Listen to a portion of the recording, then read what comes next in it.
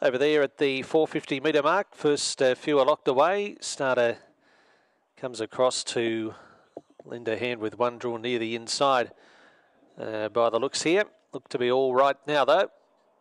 Track is cleared. Green light at Traralgon. 450 the journey. Set for a start now. Ready here for race six. Set.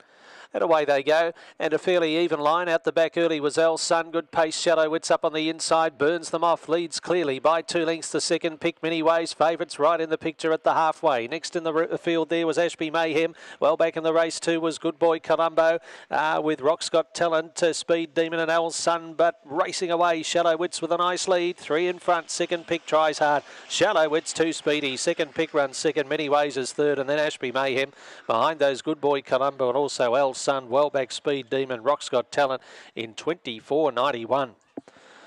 That was a nice win. Shallow Wits the winner. Too good. One from box eight here over the uh, 450 on the 27th of June in Tier 3 company and went 25.95 and has gone 24.93 today. How about that for an improvement on winning time? Shallow Wits, too good. One is the winner over seven seconds, second pick. Eight many ways, third. One, seven, eight, and fourth goes to six, Ashbury Mayhem. One, seven, eight, six to the running of race six of the day. Four lengths the winning margin.